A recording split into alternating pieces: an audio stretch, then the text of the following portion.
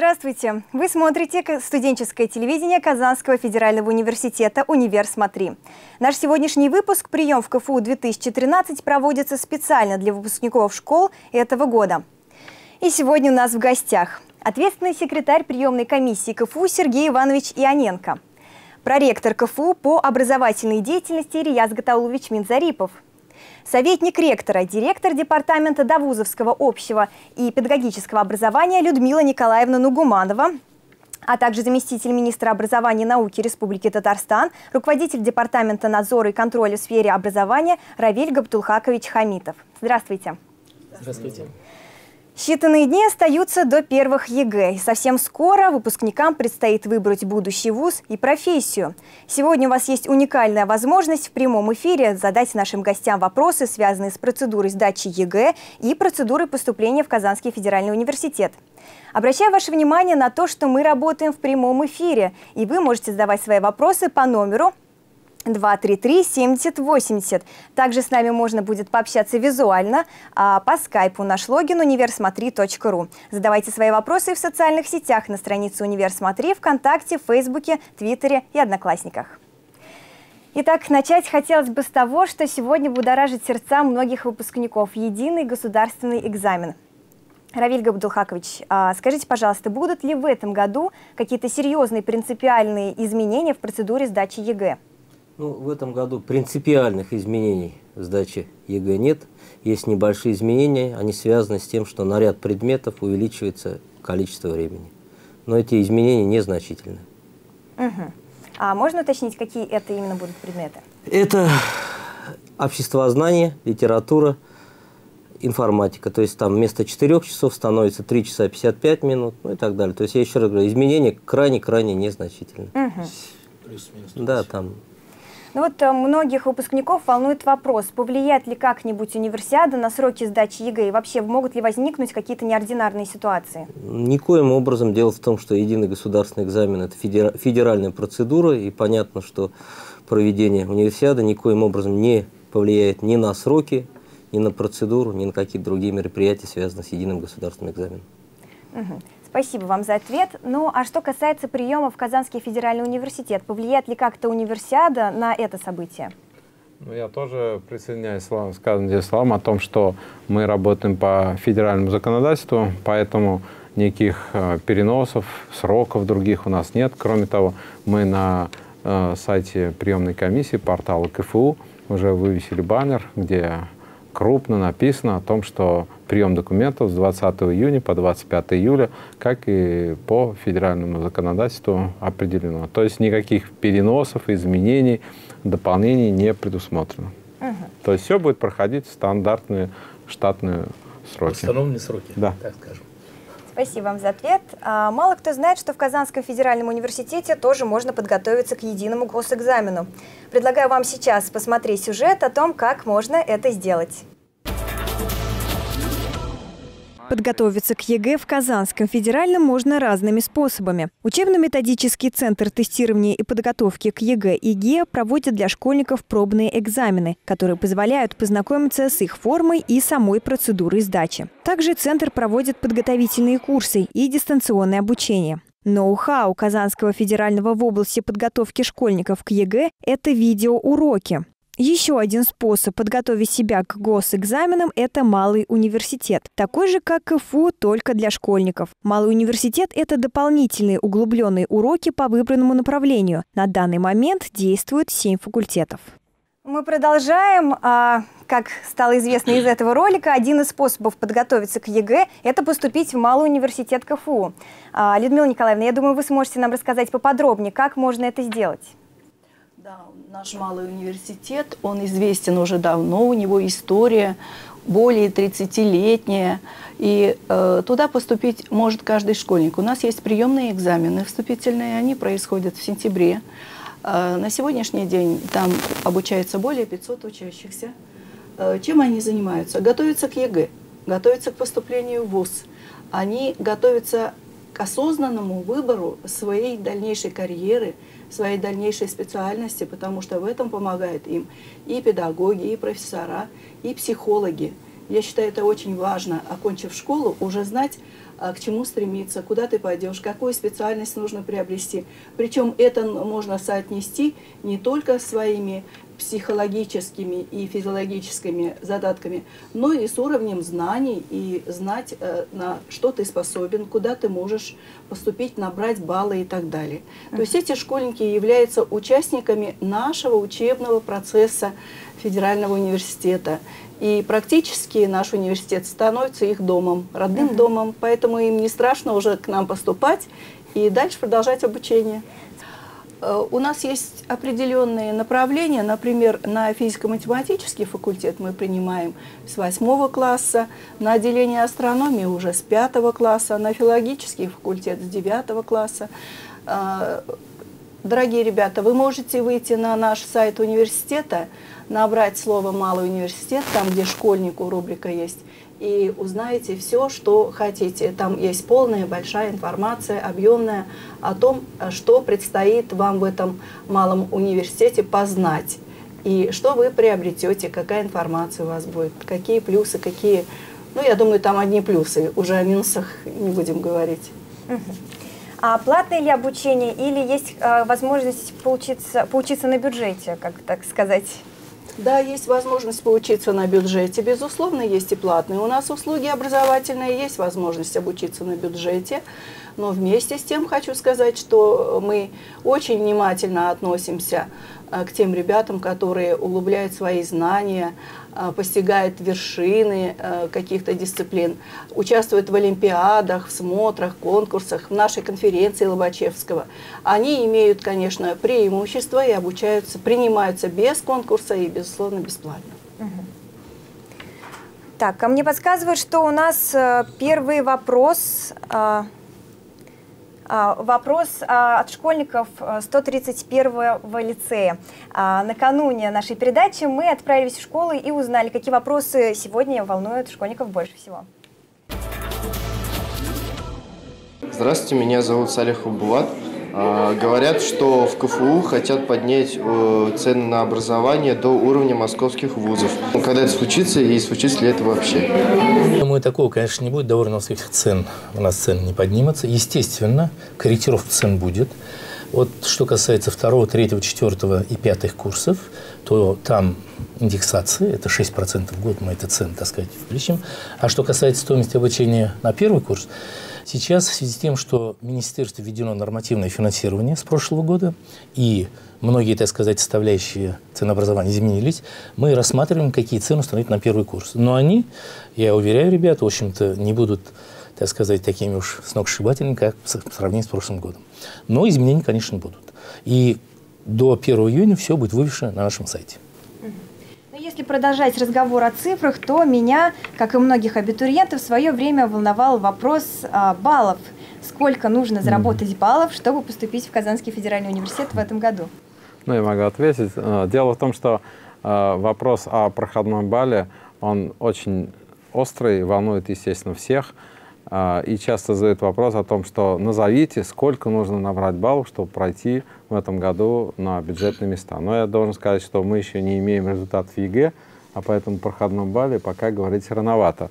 Но мы можем только пользоваться статистикой прошлых лет, а статистика показывает а, то, что у нас а, баллы достаточно высокие. Средний балл по университету 71,3 балла.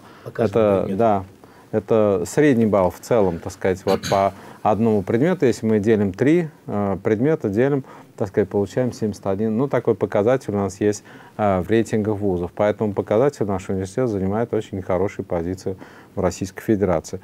И второе, это заключается в том, что у нас э, выставлены итоги приема прошлого года, и там мы указали проходные баллы. Любой может посмотреть на сайте приемной комиссии в разделе «Итоги приема 2012 года» проходные баллы, которые были в 2012 году. Поэтому по ним можно ориентироваться, и примерно так уже видно, э, какие будут э, проходные баллы. Ну, традиционно самые высокие – это на остро такие востребованные, скажем, молодежью направление подготовки как юриспруденция, международные отношения, всегда к ним большой интерес. Там, конечно, проходные баллы у нас высокие. Ну и потом надо иметь в виду, что проходные баллы напрямую зависят от количества бюджетных мест. Если 5 бюджетных мест, то, понятно, там проходные баллы будут очень высокими. Если, предположим, мы имеем 100 бюджетных мест, то там они могут быть несколько корректироваться. И потом от каких предметов зависит. Если сдают обществознание, э, русский тоже э, историю, либо обществознание, математику, русский, там, конечно, баллы проходные всегда высокие. Там, где есть обществознание, это понятно. Там, где идет физика, химия, там немножко пониже биология. Это, естественно, научная. Ну, да. Просто у молодежи, естественно, специальности они как-то меньше, может быть, котируются, поэтому там, конечно, действительно и проходные баллы пониже. Но на самом деле там тоже неплохо. Вот в среднем, если взять отдельно по научным, то там предел 65-70 баллов. Это тоже высокий показатель. Спасибо за ответ. А, Сергей Иванович, а, во время своего выступления вы отметили, что полезную информацию абитуриенты могут получить на нашем сайте. Вот не могли бы вы поподробнее рассказать? Ну, подробнее я могу э, говорить это долго, потому что на самом деле объем информации там выставлен очень большой. У нас там более 600 файлов выставлено разных. Вот. Но если кратко говорить, то информация о, приемной, о приеме э, в Казанский федеральный университет размещена на трех площадках у нас. Первый — это страница абитуриенту, когда на главной странице портала КФУ вы выходите, там наверху студенту, абитуриенту, преподавателю, вот нажимает на абитуриенту, и там э, такая рекламная информация и плюс э, минимум информации по приему.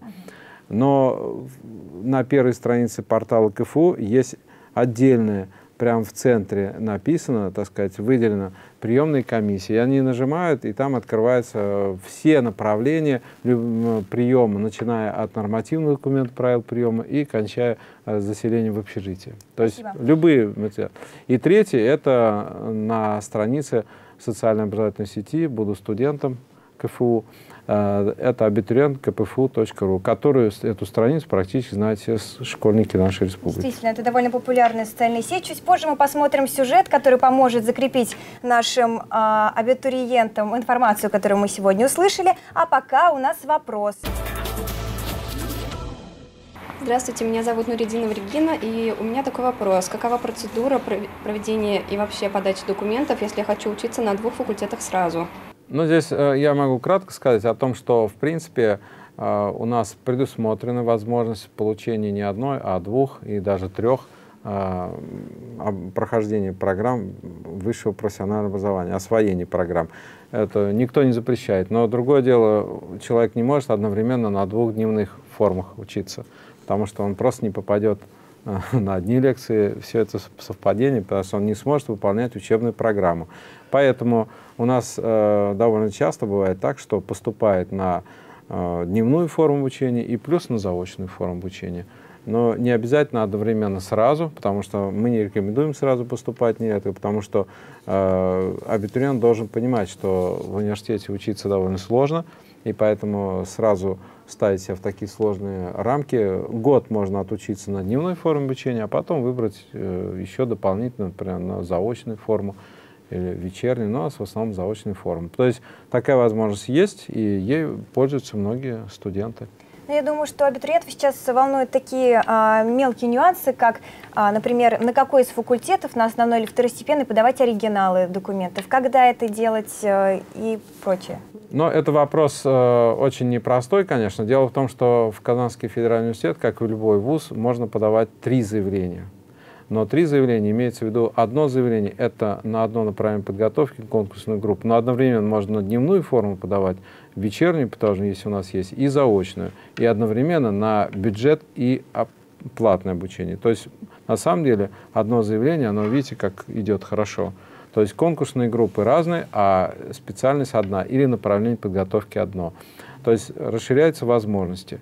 Поэтому я настоятельно рекомендую тем, кто к нам поступает, не бойтесь, сразу подавайте на бюджет и контракт, потому что это разные формы конкурса, вот, и чтобы потом не переписывать э, заявление, так сказать, сразу, никак они не влияют одна на другую при, значит, э, подачи заявлений и потом при конкурсном отборе. Что касается оригинала, когда подавать документ, это очень тоже важный момент, но те, кто поступает на целевые места, он сразу должен подавать оригинал документа, плюс те, кто хочет воспользоваться льготой, либо это олимпиадники, либо это инвалиды, либо это сироты, либо военнослужащие, они обязаны тоже представить сразу оригинал документов. Угу. Только на одно направление, там, где а, для них приоритетно использование льготы. Вот. Это требование законодательства, и мы всегда разъясняем, это момент такой. А вот куда подавать э, оригинал документов в классе? Ну, конечно, туда, куда вы хотите приоритетно поступать. Но если вы не проходите, то вы всегда сможете передвинуть оригинал на другую специальность и другое направление подготовки, куда вы тоже подавали заявление. Спасибо. А у нас еще одно сообщение, еще один вопрос, на этот раз из социальной сети. Он адресован Риязу Ктауловичу Мизарипову. А есть ли шансы на поступление в магистратуру на бюджет тех, кто учился на коммерции, и от чего эти шансы зависят? Шансы это единственное зависит от того, как учился человек, если он великолепно учился в бакалавриате и потом прошел вступительные испытания, то проходит, если сдает все вступительные испытания, отлично. Эта информация актуальна даже для меня в данный момент. Никаких проблем, пожалуйста. Но единственное, конечно, как огорчение может быть ребят, бюджетных мест на магистратуру, конечно, министерство, ну, мы считаем, дали недостаточно. Хотелось бы больше, конечно, но, тем не менее, есть 600 70 человек могут поступать в магистратуру университета на бюджет. Будет конкурс? Это значительно больше, чем в прошлом году. Так что Нет, я бы не сказал, что значительно, но чуть-чуть ну, больше. Меньше. Хотелось, конечно, иметь два раза больше, но не дали. Значит, будем стараться получать хорошие оценки. Да. Я предлагаю нам посмотреть а, сюжет, который поможет закрепить нашим а, абитуриентам информацию о том, а, где можно узнать подробности о поступлении в Казанский федеральный университет. Вся информация, касающаяся поступления в Казанский федеральный университет, находится на сайте kpfu.ru. На главной странице можно найти кнопку «Приемная комиссия». В этом разделе можно узнать все подробности о правилах приема, вступительных испытаниях, подаче документов, о текущем конкурсе и не только. Для абитуриентов КФУ также создана отдельная социальная сеть – абитуриент.кпфу.ру. Здесь, начиная с 20 мая, можно подать документы в Казанский федеральный, не простаивая в очереди соцсетях и постоянно отслеживать свой рейтинг. Пошаговый инструктаж подачи электронных документов можно найти в разделе «Приемная комиссия» на kpfu.ru. Кроме того, получить необходимые справки с 20 мая можно и по горячей линии колл-центра приемной комиссии. Мы продолжаем. А, как вы заметили, один из главных ресурсов для абитуриентов КФУ – это социальная сеть «Буду студентом». А, Сергей Иванович, расскажите поподробнее об этой социальной сети. Ну, подробнее у нас просто времени мало, поэтому я кратко скажу о том, что социальная сеть у нас создана в ноябре 2010 года. И особенность ее заключается в том, что в течение учебного года эта сеть рассчитана на школьников, на подготовку ЕГЭ, проведение различных значит, проектов и осуществления, э, прежде всего с Министерством образования и науки Республики Татарстан. Вот в данные минуты идет как раз мониторинговое исследование шестых, восьмых, десятых классов, которые участвуют порядка 80 тысяч школьников. И олимпиады, интернет-туры мы проводим, тестирование по подготовке ЕГЭ мы проводили а, дважды по математике и русскому языку. На самом деле она довольно активно э, используется. Там же размещены видеоуроки наши и целый ряд других проектов. И самое интересное, что эта сеть, вот она привлекает школьников, на ней идет и анкетирование поступающих в университет и в другие вузы. Мы проводим такое профессиональное анкетирование. Э, э, анкетирование. И кроме того, э, эта сеть, она в период приема является площадкой, откуда подают документы uh-huh. наши абитуриенты. То есть они да, уже с ней работают фактически в течение года, а при завершении обучения они плавно переходят, как абитуриенты, в эти же интернет-кабинеты заходят свои, под логин, паролем, добавляют заявление и таким образом уже э, становятся абитуриентами. Вот это очень важно. И должен сказать, что в настоящее время наша сеть достаточно популярна. Э, есть такой рейтинг Mail.ru, он фактически образовательные ресурсы России и стран СНГ. Там примерно две с половиной тысячи образовательных ресурсов. Вот сегодня, если можешь, можно сейчас открыть, посмотреть рейтинг, мы занимаем второе место по России и странам СНГ. Спасибо, Сергей Неплохой Иванович. У нас Кстати, пусто... можно добавить, да. что она представляет интерес не только для абитуриентов. У нас есть совершенно уникальное задание и для пятиклассников, и также и для педагогов. Угу. Особенно вот э, в период подготовки к ЕГЭ. Угу. В период подготовки к ЕГЭ абитуриентов волнуют многие вопросы. Например, а, сколько отведено времени на сдачу английского, так как ходят слухи, что добавили полчаса.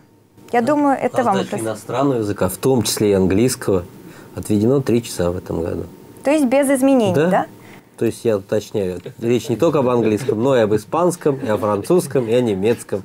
Уважаемые телезрители, не верьте слухам. Звоните нам в студию, задавайте вопросы по номеру 233-7080. Звоните нам по скайпу, наш логин универсмотри.ру.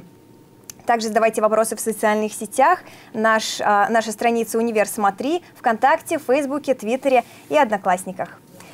А мы продолжаем, и я думаю, что настало время выслушать еще один вопрос от школьников. Меня зовут Ефросинья, у меня вопрос. Сколько по времени действуют э, результаты ЕГЭ? А, например, если я сдаю в этом году ЕГЭ и меня не устраивают мои результаты, могу ли я а, пересдать их в следующем году и поступить уже с новыми результатами в вуз, который я желаю? Сколько по времени действуют результаты ЕГЭ? Понятен, в принципе, да, да понятно. Срок действия свидетельства о результатах единого государственного экзамена – и то, что спрашивала девушка, если ее нынешние результаты не устраивают, на следующий год она вправе пересдать, заново поучаствовать в процедуре на всех тех условиях, как и другие. А так действует два года, насколько А так действует нынешнее свидетельство до 31 декабря, соответственно, 2014 года, да. если результаты угу. этого года. Один год может пока. Нет, результат. по сути дела два года, но она два ну, года имеет право поступать. У нее получается возможность использовать свои результаты дважды. Да, правильно. В 2013 году и в 2014. Совершенно правильно. Я думаю, это хорошая возможность. А у нас еще один вопрос из нашего чата. А можно у вас сдать дополнительный ЕГЭ, если я сдаю ЕГЭ в школе только по математике и русскому языку? Ландыш Давлетшина. Вам понятен вопрос? Не совсем. У нас у, это у что имеется в виду? В университете? То Я так понимаю, в Казанском федеральном университете. Она записалась 1 марта на два экзамена. Русский и математику. Сейчас а, хочет да. э, дополнительно еще сдавать. Да. А, может быть, это, ну, в соответствии с порядком проведения ЕГЭ, утвержденным приказом Министерства образования, приказ 2451, а, абитуриент, ученик должен заявиться на сдачу экзаменов до 1 марта. И в соответствии с этим сдает те экзамены, которые внесены в федеральную базу данных.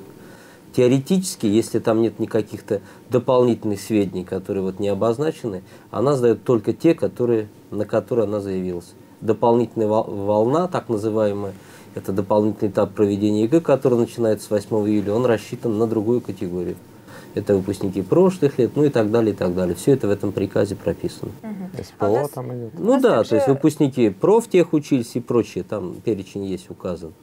У нас также был э, такой вопрос, э, что будет, если не явиться на ЕГЭ, на который ты записан? Как ну, это если будет? это не русский язык и математика, который является обязательным для получения аттестата, то ничего не будет, у ребенка просто не будет результатов по данному предмету. Предлагаю вам посмотреть еще один вопрос от школьников э, города Казани. Здравствуйте, меня зовут Галимов Тимур. У меня такой вопрос. Если человек стал призером Всероссийской Олимпиады по математике в девятом классе, может ли он без экзаменов поступить на, э, в какой-либо университет на факультет информационных технологий? Наверное, я отвечу на этот вопрос. Действительно может. Обязательно, потому что победителей всероссийских олимпиад без конкурса могут принять в любой университет. А, дорогие ребята, наш университет а, ждет таких одаренных, талантливых, творческих школьников. Мы обязательно вас, вас возьмем. Заявляйтесь к нам, приходите, потому что действительно здесь мы представляем более 140 специальностей. И не нужно ездить куда-то, выбирать э, в другие чужие города. Приходите к нам мы э, с большим удовольствием вас примем. Мы уже сегодня в Министерство образования дали списки этих школьников, которые победили в наших Олимпиадах. Если они пожелают, мы их обязательно в рамках целевого приема будем принимать. Ну а кроме того, в любом случае, когда они будут поступать к нам в университет, мы э, будем более внимательно к ним относиться, и они будут иметь приоритет среди других ребят при поступлении. При Мы ждем вас, да, ребята. Это, безусловно, приятно. У нас очень оживилась социальная сеть ВКонтакте. А, на нашей странице «Универ Смотри» а, задаются следующие вопросы. Раиль Софиулин сомневается в законности установления в аудиториях пункт, а, пунктов при, приема ЕГЭ камер. Вот как вы можете это прокомментировать? Камеры могут устанавливаться. Единственное условие, об этом должно быть сообщено. Поэтому, когда устанавливается камера, если внимательно посмотреть, на пункте ППЕ всегда пишется, в ауди... Э, на пункте ППЕ ведется видеосъемка. Легко сообразить, часто, когда заходишь в магазин, написано, в нашем магазине осуществляется видеонаблюдение. Да, правильно. Поэтому... То есть э, никуда от э, взора камеры нам, к сожалению, с вами не скрыться, уважаемые абитуриенты. А сейчас я предлагаю просмотреть еще один вопрос от школьников Казани. Здравствуйте, я Александр Письменский, и мне хотелось бы узнать, как будет выглядеть поступление для молодых людей сразу же по окончании школы, отправившихся на срочную службу вооруженные силы. Или не после окончания школы, а по окончании, например, первого курса. Какие экзамены нужно будет им сдавать и будут ли у них какие-либо льготы. Человек успешно окончил первый курс, допустим, условно, решил уйти в армию, он уходит, потом приходит и восстанавливается. Никаких проблем здесь нет. И тем более в этой ситуации мы, в общем таких ребят всегда, конечно, поддерживаем. Потому что военнослужащие – это наша гордость и наши защитники. То ну, есть и... льготы какие-то будут, да? да? Льготы, ну в каком плане здесь льготы? То, ведь обычно как бывает, вот когда молодые люди возвращаются, он ушел с бюджетного, допустим, места в армию, пришел, может бюджетных мест не быть. В этой ситуации мы, конечно, изыскиваем возможность как-то, стараемся им помочь угу. и поддерживаем. То есть в этом смысле со стороны университета понимание есть. Об этом мы сразу поговорим после нашего сюжета, из которого узнаем, что нового произошло в КФУ за 2012 год. Казанский федеральный университет. Такой знакомый, но каждый год новый. Сохраняя традиции классического фундаментального образования, КФУ не стоит на месте, а постоянно расширяется и пополняется новыми направлениями. В 2012 году к Казанскому федеральному был присоединен самый крупный вуз набережных Челнов. Это событие дало толчок развитию инженерного направления в КФУ. В этом году Казанский университет начнет прием в Высшую школу автомобильного инженеринга. Высшая школа автомобильного инженеринга создается совместно с КАМАЗом на сегодняшний день. То есть она, будет? Э, будет находиться в набережных Челнах, э, на территории, где сконцентрировано автомобильное производство нашей страны и нашей республики в том числе. Рядом находится особая экономическая зона, где размещается предприятие Солерса. Сегодня Солерс. В Челнах сейчас Солерс. В Челнах Солерс размещается, КАМАЗ есть, есть достаточно большое количество малых компаний, которые работают в области автокомпонентного производства. Поэтому я думаю, то, что мы делаем, э, оно хорошо впишется в те потребности той территории, где мы эту школу высшую формируем. Также впервые в 2013 году открывается набор в Институт фундаментальной медицины и биологии. Примечательно то, что теперь Казанский федеральный начнет готовить медработников. Ведь совсем недавно университет получил лицензию на подготовку специалистов в области здравоохранения. Сейчас у нас имеется полное право, государство нам дало это право, обучать э, студентов э, в специалитет. Это не бакалавриат, потому что в здравоохранении нет бакалавриата, угу. в специалитете по нескольким специальностям из здравоохранения.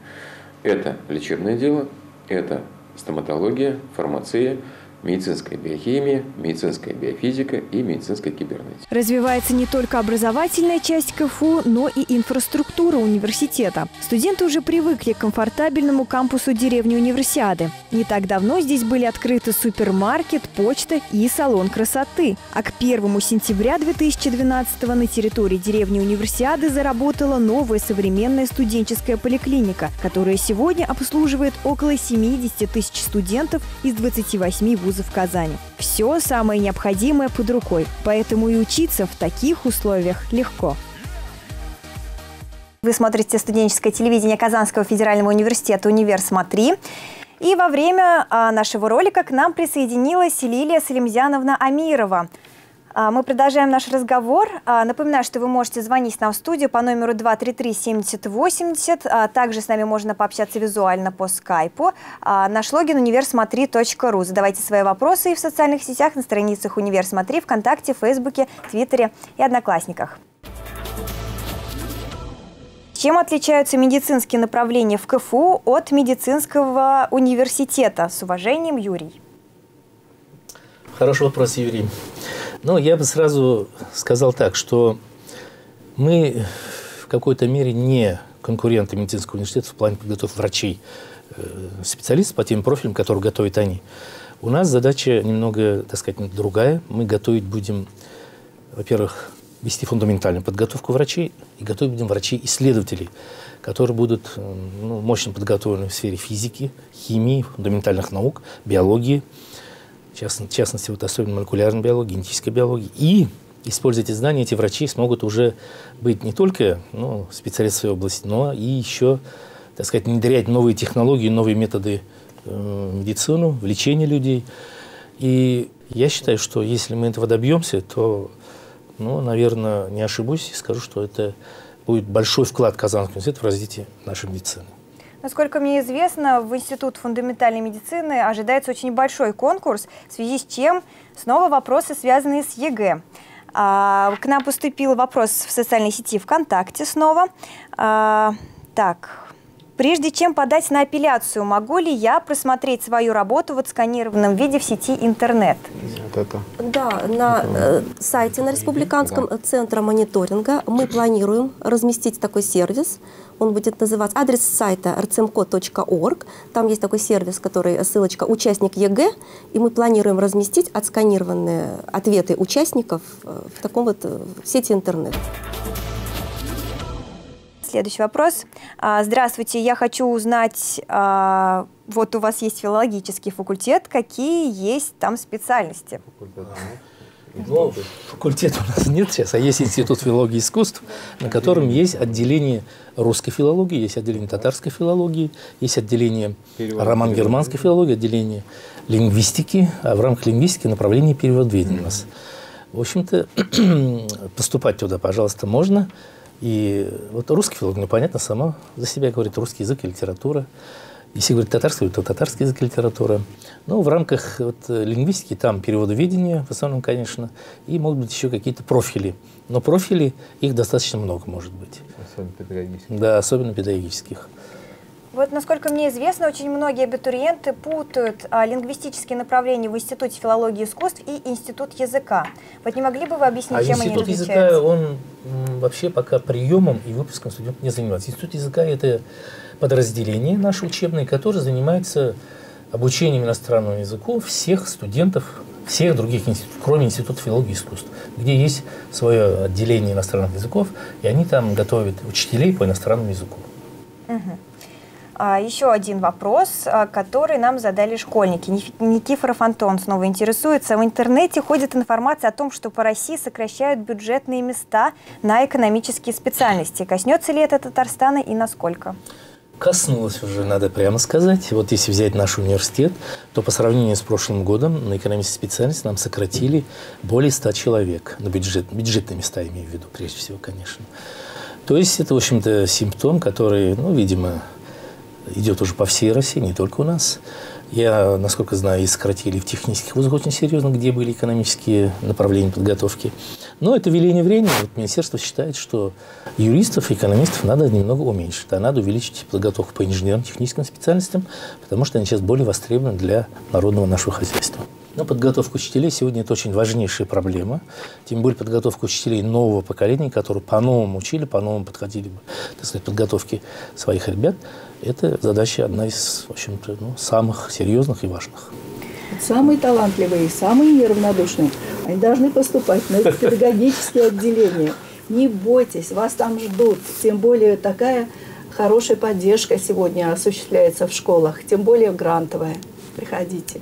Угу. Мне сообщили, что у нас поступил первый звонок по телефону. Давайте попробуем выйти на связь.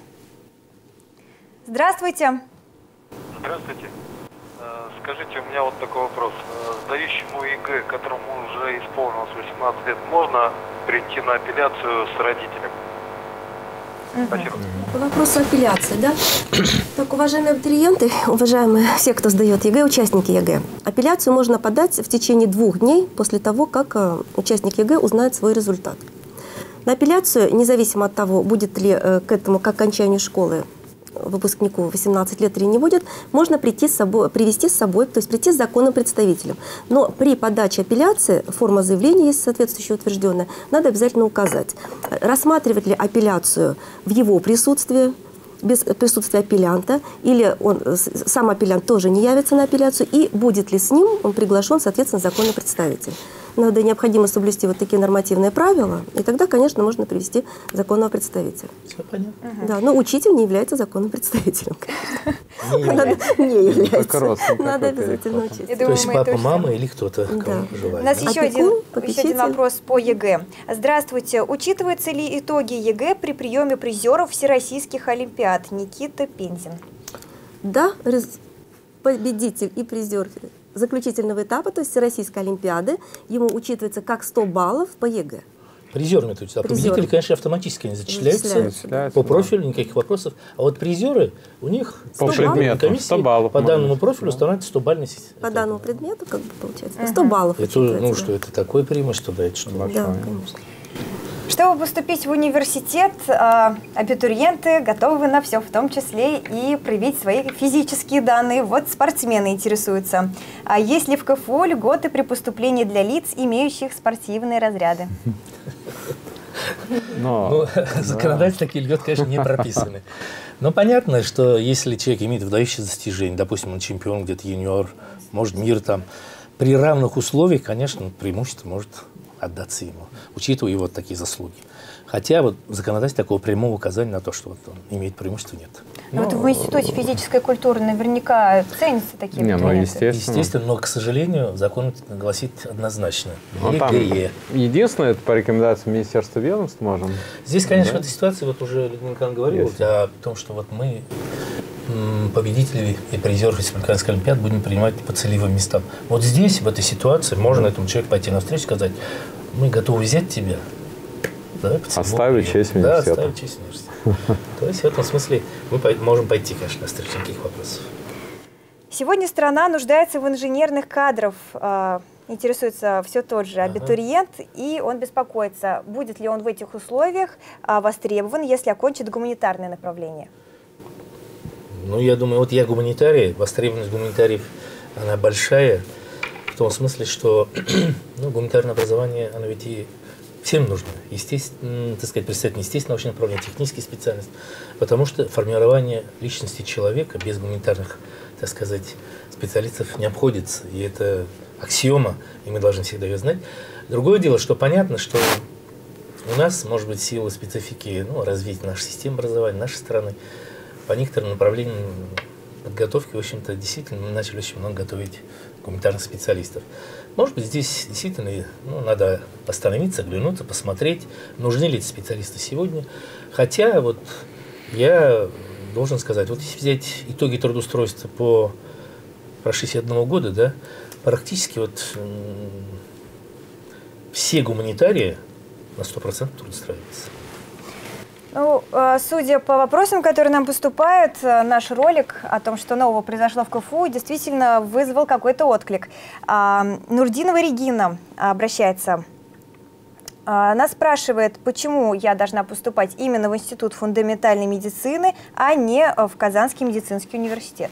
Ну, это ей решать уже. Дело в том, что ведь если она хочет стать врачом высокой квалификации, врачом-исследователем, который будет внедрять новые технологии, нов, э, развивать новые направления в медицине, то, я считаю, к нам надо. Если же она хочет стать врачом, практиком, практиком то, конечно, наш медицинский университет, я здесь честно, откровенно говорю, я там люблю, уважаю моих коллег, которые работают, они готовят хороших врачей.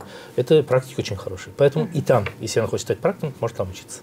А нам поступил еще один звонок по телефону, и мы готовы выйти на связь. Здравствуйте.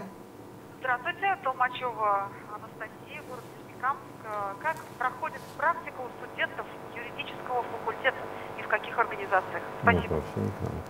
Юридический факультет. Практика на юридическом факультете. Ну, это можно сказать. Ну, можно, да, но вообще это не к теме. Ну, практику юристы наши, ну, студенты нашего юридического факультета проходят, ну, соответственно, в соответствии с курсом, который, допустим, второй курс у них государственно-правовая, на третьем студента судебная, прокурорская, на четвертом курсе дальше Профильная, идет уже. да. Да. То есть каждый год у них какая-то своя специфическая практика. И они обычно проходят практику в учреждениях, организациях и организациях нашей республики, а могут даже Российской Федерации, если, допустим, какая-то организация готова их принять. Но у нас здесь никаких проблем, как правило, нет. Наше Министерство юстиции, прокуратура, наш Верховный суд и вообще суды нашей республики с удовольствием принимают наших ребят, и они там неплохо проходят практику.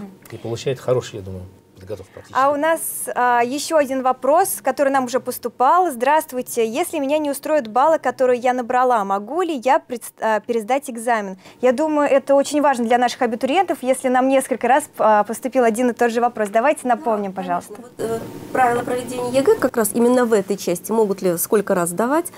Выпускники прошлых лет, вот в этом году сдал, значит, выпускник школы экзамен, поступил даже куда-то учиться, предположим, и его не устраивают э, его баллы, или он планирует там поменять направление подготовки, он в статусе выпускника прошлых лет имеет право сдавать ЕГЭ, ну, каждый год практически. А результаты использовать те, которые были выше, из любого свидетельства. Да, да. э, Вот э, и статус выпускника прошлых лет дает такое право заявляться на ЕГЭ и до 1 марта, предположим, там по месту жительства где-то, да, или по месту фактического нахождения.